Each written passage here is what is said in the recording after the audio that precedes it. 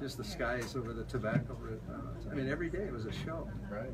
So, thought they kind of liked it. Chris Robbins. It's fun. I Thought it was different. Yeah. I'm not supposed to do things like that. You can do whatever you want.